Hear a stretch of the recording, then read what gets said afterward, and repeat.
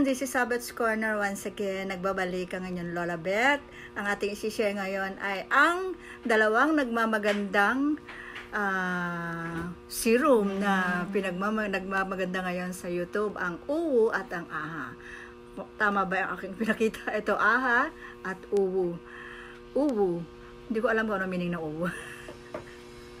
Pero yung Aha, ang sabi niya ay, uh, ang meaning nito ay Asa na ba meaning niya ng uh, alpha hydroxy acid. Ayan. Acid, as in acid.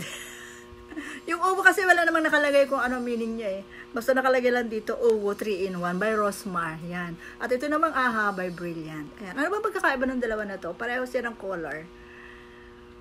Ayun. Ang pagkakapareho niya, pareho ng lalagyan, parehong tig 30 ml, pareho ng color. Pero medyo mas nagre-red ito. Ito medyo ito po siya. Pink na siya. Pink, nagpi-pink siya. Sa ano naman, itong ah, uh, ay malapot. Ayan, hindi siya yung basta-basta bumabagsak. Malapot siya. Para siyang cre ano, yung, para siyang gel. Pag pinahid nyo siya, ah, ayan, ganda. Pink. As in, nagre-red siya. Nagbabla, para kang nag-blast on. Ayan. Ayan. Ano kaya gagawin, mangyayari pag pinagpa, pinagsabay ko siya ng pahid? Ayan. Ito naman, pag binuksan mo siya, pag inopen mo to, at pinano mo, mabilis siyang lumalabas. Ayan o. Oh. Tulo siya agad. Hindi siya ano, hindi siya gel. Liquid, as in liquid. hindi naman sobrang liquid, na medyo ano naman siya, medyo creamy ang dating niya, naglalapot. Ayan. Hmm. Pero mas ano ang ano, ang uwo mas malapot siya, mas cream, mas uh, para siyang gel. Itong um, aha, mas ano, mas uh, hindi siya ganun kalapot. Para siyang tubig lang na parang water na may mix. Ayan, medyo ano, ayan, nag-mix na siya. Hindi ko alam anong mangyayari sa mukha ko. Bahala na.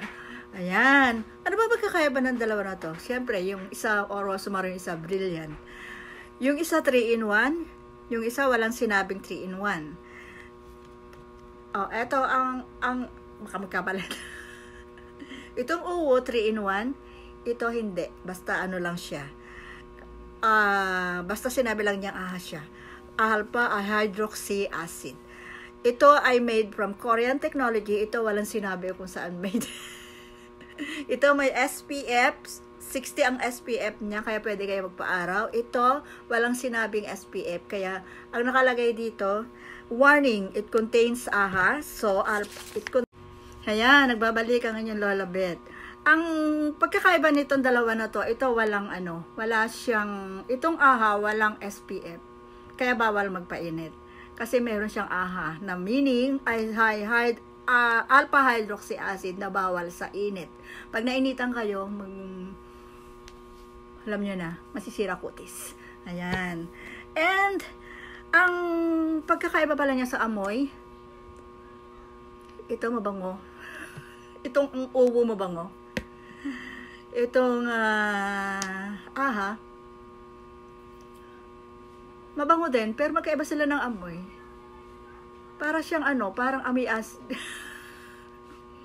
ano nga ba amin ito? Hindi ko alam. Parang lemon, hindi ko maintindihan. Pero ito kasing ano eh, itong uwo, para siyang apple na ano, para, basta mabango siya. Pag pinano sa mukha mo, mabango.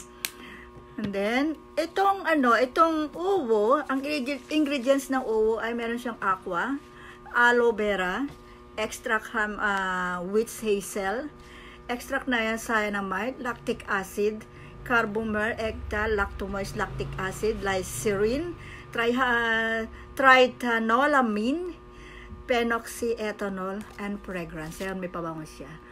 Napansin ko ako konti ang acid niya. Parang isa lang ang, ah, hindi, meron siyang lactic acid and glycerin. Parang ito lang yata yung ano niya nakasama ng, na may acid.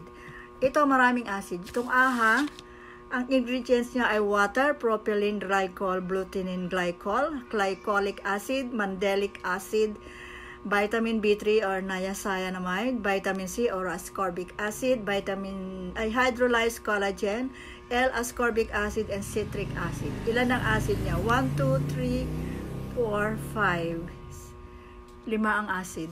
ito dalawa lang yata. Itong uwo, lactic acid lang ang meron siya. Ayan. Oo nga, lactic acid lang meron to. Pag pinapahid ito, malamig sa mukha eh. Kasi may aloe vera.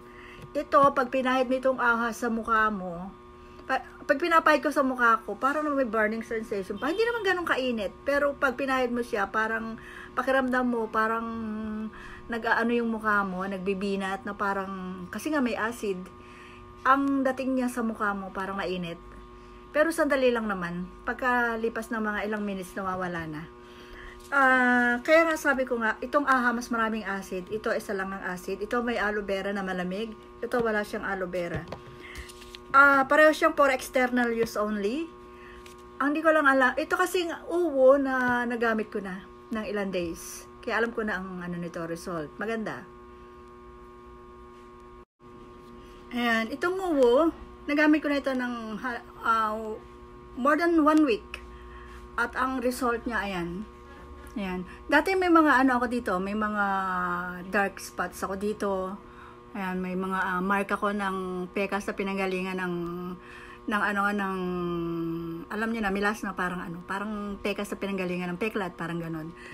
Tapos ginamit ko ito, nung ginamit ko ito, hindi naman ganun karami yung mark ko nung gamitin ko ito, pero nung gamitin ko ito, ilang days lang, mga 4 days, nagkaroon na ng result, ayan, nawala na.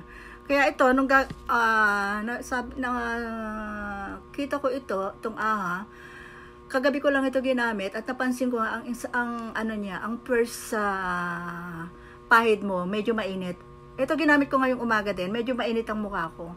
Ngayon naglagay ako ulit, medyo nag-init Pero hindi naman siya ganun kainit. Kaya lang, siyempre, kung sensitive ang skin mo sa mga acid, baka hindi maging okay sa'yo. Pero try nyo din. Ngayon, ang pag, hindi ko lang alam kung anong effect nito sa skin. Pero, tin, ano naman, maganda siya. Nilagay ko naman eh, okay naman siya. Wala namang epekto. Siguro kasi makapal na mukha ko. The joke. Hindi. Pero uh, kung umpisan yung gagamitin to, siguro ano, makamanibago kayo sa ano. Pero sabi ng iba, maganda daw. May mga result na raw sa kanila na talagang pumuti sila. Try natin na ilang days uli kung anong magiging result. Kung puputi pa ba ako lalo.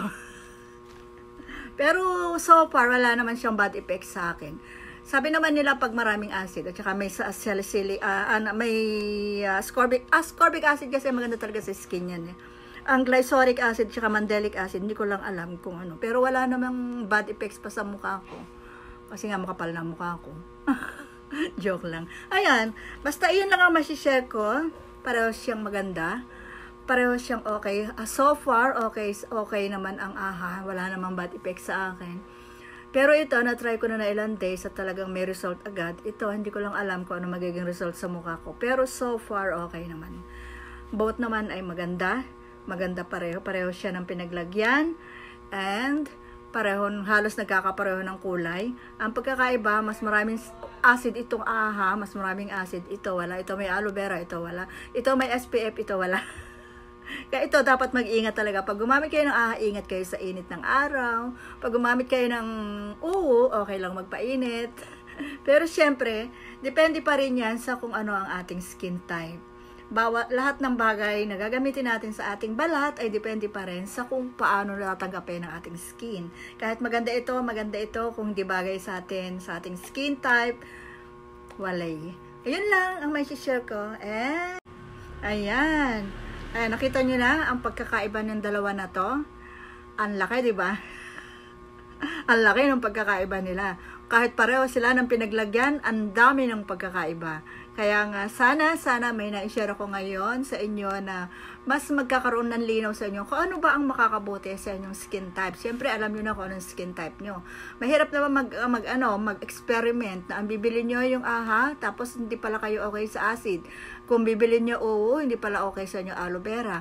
Dapat alam nyo ang ingredients ng bawat uh, item na bibili nyo para hindi masira ang inyong mukha. Ayun, sana may na-share ako na maganda sa inyo. And please subscribe to my YouTube channel. Alam niyo na yan. Diba? Bye-bye!